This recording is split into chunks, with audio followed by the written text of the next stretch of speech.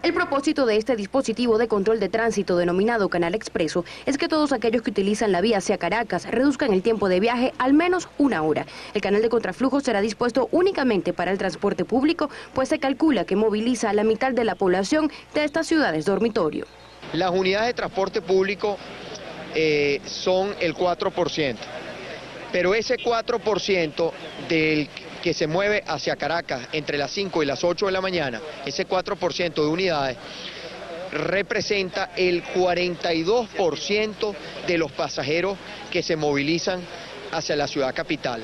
Es decir, que si, imagínense, si el 4% eh, se incrementa, quiere decir que son miles de personas más las que se movilizan. Entonces, en la medida que el canal expreso no se embotelle, es decir, que en el canal expreso el transporte público fluya con regularidad, es decir, un recorrido de 50 minutos, estamos hablando que reduce los tiempos de espera en las paradas y aumenta la capacidad de movilización de pasajeros. Durante todo el mes de marzo estará activado este plan piloto. Miembros del sector de transporte manifestaron su apoyo a esta medida que consideran beneficiará a todos. El Canal Expreso, como le hemos llamado, ha sido un éxito. De verdad que sí, hemos monitoreado varias unidades en el recorrido que han hecho subiendo y bajando y se han tardado aproximadamente 45 minutos y la información que tengo de los demás compañeros y presidentes de organizaciones es que esto ha sido beneplácito para todos los transportistas y me imagino que para el el pueblo de Guarani y Guatire también. Aproximadamente una unidad duraba tres, tres horas y media en cola.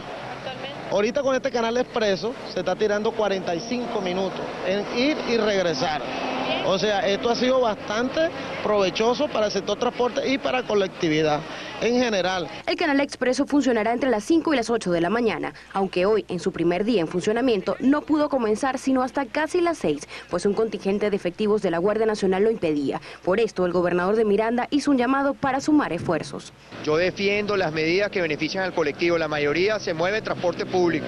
Hay que darle beneficio al transporte público. Hay que darle beneficio a la movilidad.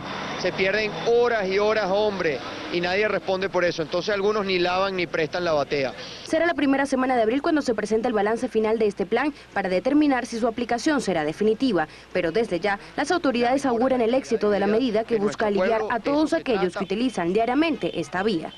Nashla Isaacs, Globovisión.